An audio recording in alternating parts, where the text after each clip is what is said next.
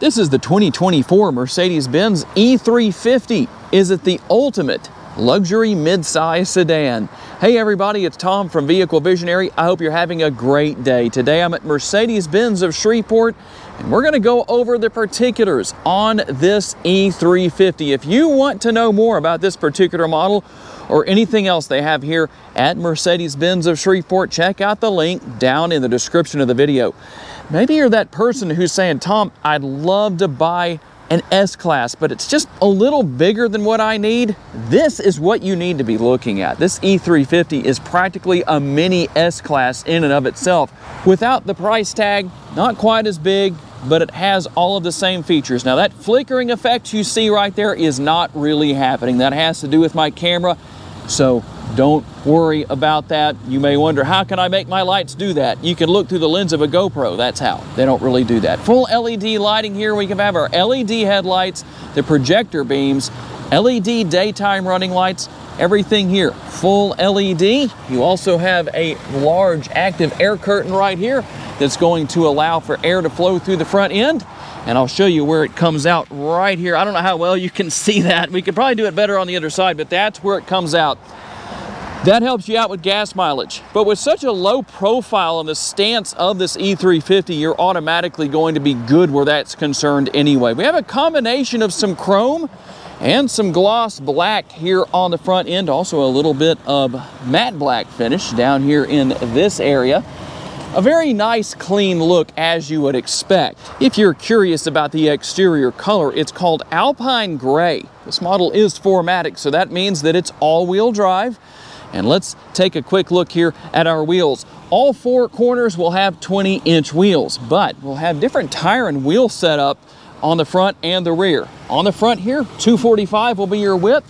The sidewall is a 40 series. And as we work our way here to the back, you're gonna have a 275 on the width back here and a 35 series sidewall. So Gonna have that. We'll have our deployable door handles right here. When you walk up to the vehicle, if they haven't already deployed, they will. If you have the remote in your possession, that will take care of that for you. Let's take advantage of the bright Louisiana sunshine and show you the remote. You can see what all is here. A pretty simplistic remote, but that's not a bad thing. Not overly complicated. And as far as your side view mirrors go, they literally have everything that I know a lot of you like to have here. Turn signal indicators are built in. They're heated, they're power adjustable, and let me go right here. I'm going to push this button, and you're gonna see that they are also power folding. That is apparently a very popular feature for a lot of people. Another feature that's very popular, the panoramic sunroof. Much larger sunroof than what we would have in a lot of cases. We finish things off here with a familiar look back here with the Mercedes-Benz logo design with your LED taillights, a little bit more chrome here as well, but overall a very clean look. Have the spoiler built into the trunk right here. It gives it a nice look, really just kind of flows right off of the deck lid right here. Very clean, very nice.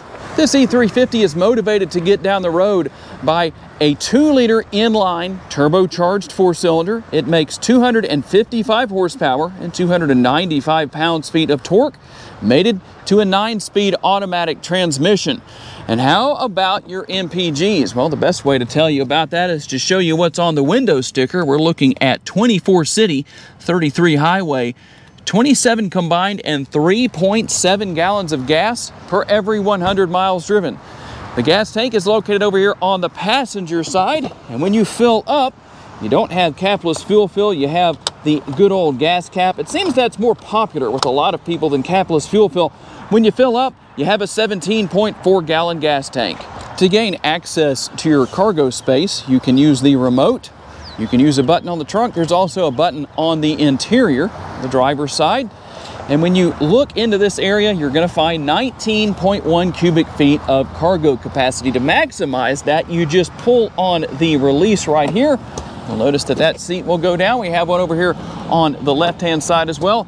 And that's not the only way you can configure that, but we'll get to that in just a second. The one thing I did want to tell you about is the only thing that's missing back here is the presence of a spare tire. You do have a tire repair kit, but it is something you need to know about if this is something you want to buy. And here is that other way to configure the rear seating area that I told you about. You have the release right here, and it allows you to fold down the center section right here, the center seat back, and create a pass-through. There could be a lot of advantages to that depending on your situation, what you're dealing with.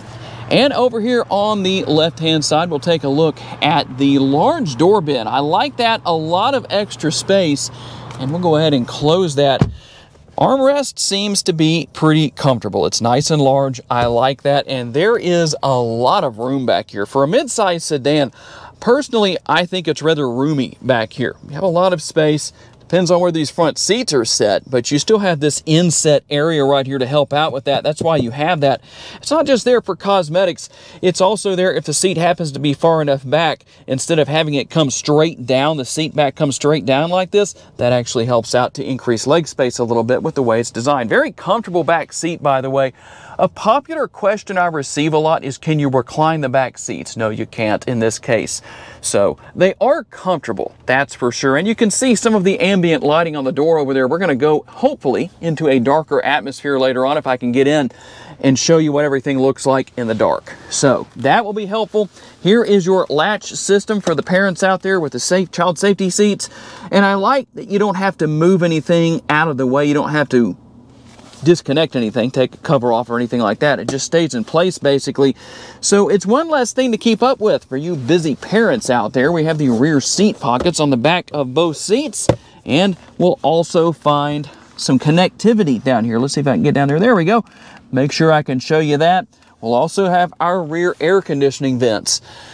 And earlier I did mention that you have a panoramic sunroof. Essentially, you have a front and rear sunroof. One of the correction Nazis may have already said something in the comments section, but I'll go ahead and correct myself anyway. But it is beyond what you would call a conventional sunroof, and this front section is definitely quite large. What can you expect to pay if you were going to come into Mercedes-Benz of Shreveport and buy this Mercedes-Benz E350, the 2024 model? It's $81,765. And I wanted to show you the power shades that are here for the front and rear sunroofs. And this front portion will open up. So I'm going to close that back up simply for the fact that, oh, we don't need to talk yet. There we go. You do have the MBUX system, and I'm going to give you a demonstration of that later in the video, but it's not quite time yet. So let's see what you get over here on the driver's side door. Let me open this up so we can take advantage of the sun a little bit more. Remember I told you you could open the trunk from the driver's seat area? Well, there is the button, and we'll have all of our typical controls and switches. You saw a little bit of that earlier in the video. And here we go with our seat memory right here. Three different settings. Heated seat for the driver and the passenger. There's your ventilated seats in addition. And something I really like here, it should be a given at this price point, but I even think lower priced vehicles in the 30s and 40s that have seat memory on the driver's side should also have it on the passenger side as we do here. So Let's take a look at what else we have. Our steering wheel mounted controls. The good thing about what you have here, everything you're likely to expect, but you can also control what is going on with your different screens. So depending on what you need to see and what you need to do, you can adjust a lot of things. And we're going to get back to that in just a second. But I did want to show you a couple of things real quick here. Number one, here's how we control the lighting on the exterior of the vehicle. Here's how we control the windshield wipers and there's another function here that a lot of you do not seem to be familiar with. Feel free to ask questions if you're not sure exactly what I'm talking about. Here's your shifter, pretty easy to deal with. Put your foot on the brake, you pull down to go into drive, push that into the up position to go into reverse. And speaking of that, here are all of our different camera views. Got the overhead view. Obviously, you're gonna have a multitude of views. Your front view camera right there, and then additional camera views all around the vehicle. So it's nice to have that depending on what you want to see. If you want to use the entirety of the screen for that overhead view, well, guess what? You can. It's very easy to do. And so that's a good thing. Now, let me go over here real fast. We also have the screen for the passenger. Everything is over here as well that we have on the center screen. Pretty neat to see all of that. You'll find out what all is there as we work our way through the video. I'm not going to cover everything on that screen. We'll do it on the center screen right here. Now, we do have our shifter paddles here, so you can work your your way back and forth through that nine-speed automatic transmission. And let's take advantage of the controls here. I'm going to push home right there and you'll notice some of the features that come up there on the bottom. I can scroll through using this right here. This area right here is kind of like a trackpad of sorts. And we can scroll through and determine what we want to see. If we want navigation, we can do that. If we want assistance, if we need service, we'll go over here and look at our dash display. We can go to sport if we want to. I like that. That just has a nice sporty look and feel to it. Very, very nice. And you can see the ambient lighting in this area. Quite a bit going on where that's concerned. Now, let's go over here to the screen. There's a lot to talk about here. Don't let it fool you because it looks like it may be overly complicated. If this is something you've never had before, that is not the case. Very easy to use, very easy to figure out and hunt and peck your way through. Depending on what you need to see, you can go in right here. And right here is camera. So we're gonna go ahead and do that. And notice what we're looking at right there. That's from right here. So here's what I'm going to do. I'm going to change views and now you can see me filming you and you can wave back if you want. Kind of an interesting thing. And you can not only do that, you can also take still photos. Let's do that and we'll take some still photos. In fact, you can take three and there we go. I didn't get everything I wanted to out of that, but that's what we have can also do that and get another still photo. And you can go in, let's see here, depending on what you want to do, you've got a few things that you can go in and look at here as far as your settings go, all that good stuff. We're gonna go back out of that because I did want to show you one more important thing here that we have where this is concerned. And if you want to see what you have recorded or the pictures you've taken, you're just gonna select right there where I just did, and that will go in and let you see everything. There's my video and you've seen all of that already. But the one question you might have is how do you gain access to those files? Right here. You're going to need a memory stick, USB-C, and the larger the better. I guess in this case it depends on what you're going to be doing with it. This model does not have the built-in dash cam, although that is available to have if you want to. It's available on all Mercedes-Benz vehicles these days, but you don't necessarily need a memory stick this big if it's something that you're not going to have if you're just going to take pictures and shoot some video, but it's up to you what you get. I do recommend a larger one. Now, we can go in here and look at our navigation. That's here, built-in navigation, but you can also pair your smartphone wirelessly and use whatever apps you want to on the phone. Let's shut that down real quick.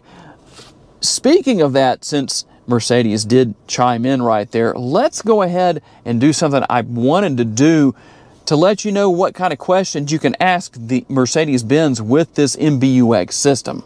Hey Mercedes. Yes? What can I ask you?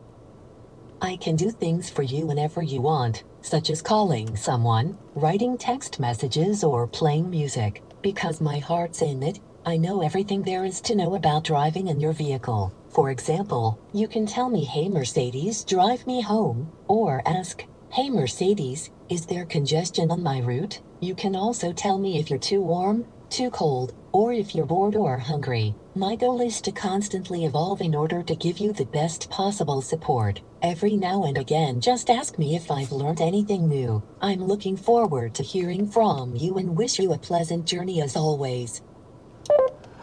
Okay, there we go. I apologize if that was a little long, but you know what? A lot of people have asked me for that, so there you go.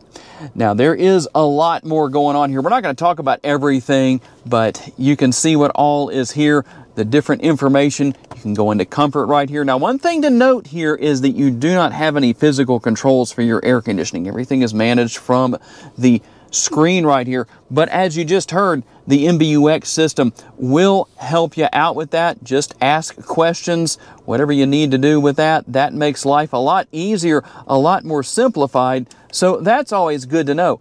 And we'll go in here and look at comfort real quick, just to show you what all is here. In fact, you even have the massage seats, and that is something I am really happy about because I did go to the gym before I came in here this morning to shoot this video, so I'm a little sore. I can take advantage of these seats for a little while. That's very nice. And you can see that you have several different options right here, depending on what you want to do. Now, there is a lot you can do with the ambient lighting as well. Like I said, we're going to try and get into a darker atmosphere later on and show you what's going on there. I'm not going to guarantee that I can do it, but we'll just see what happens. And you can go into manage settings right here and you can see some of those settings. Super simple to deal with. The hunt and peck method will do you very, very well. And you can see some of your one touch buttons down here depending on what you need. And so that's easy to deal with. And then right here, if you want to, you can conceal everything away right there. Or and leave that open. There's where your wireless charging pad is. Your cup holders are here and a couple of USB options as well. And just a quick look here, get that to focus for us a little bit. Just take a quick look at what is on the upper console. So that's easy to deal with. Pretty simple. You got your lights up there and you'll also have your bomb bay doors here that reveal a little bit of storage in there and another USB option. And there we go. How about that? Now this is one of the settings you can have. You can have solid lighting throughout the entirety of the vehicle if that's what you want. Like I said earlier, Mercedes-Benz does it unlike anybody else in the industry. So you can see your different lighting selections right here as far as multicolor goes. If you want to change things up, it's pretty easy to do. I'm not going to go through everything, but then if you want to go from multicolor to just one color, well, we have 64 different colors to choose from. I always think that blue shows up the best, but we'll take a look at some of the other colors here. And any of that flickering, again, if you didn't hear me say it earlier in the video, is coming from my camera. It's not really happening.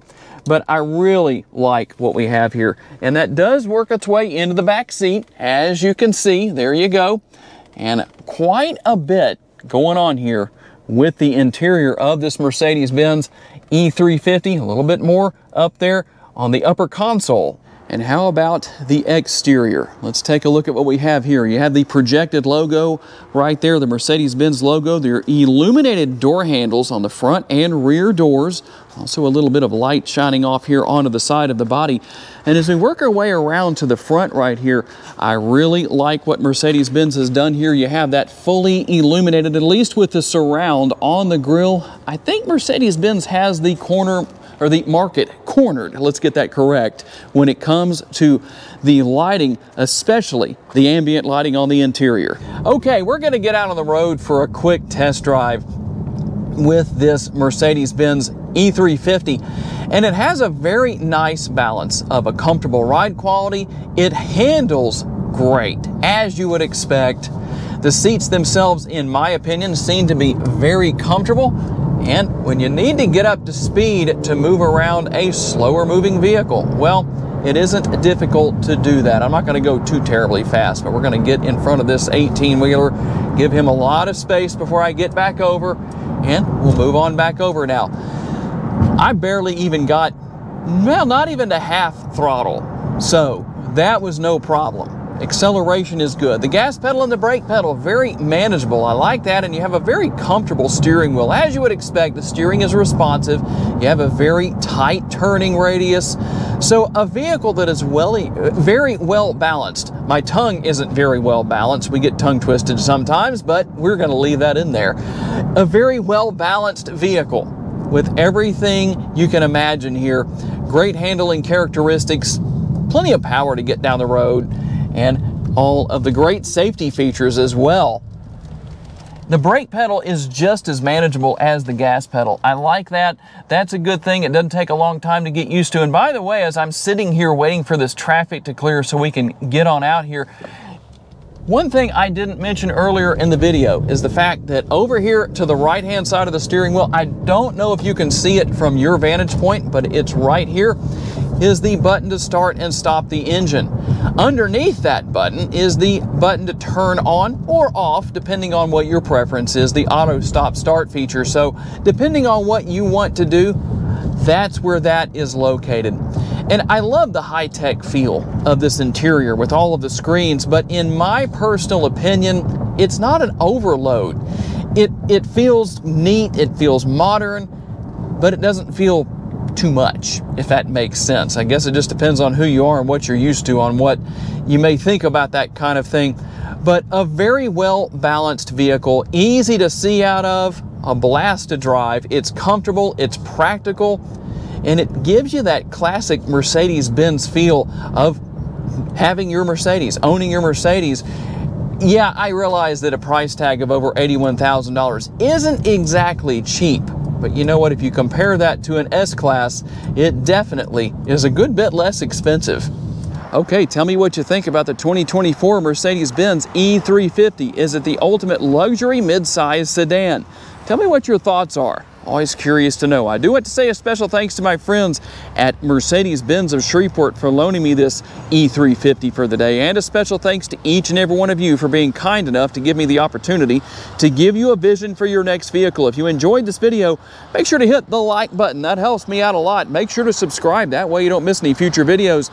And if you would like to learn about additional vehicles you may wish to consider purchasing, check out the video that's on the screen right now, and I'll see you there.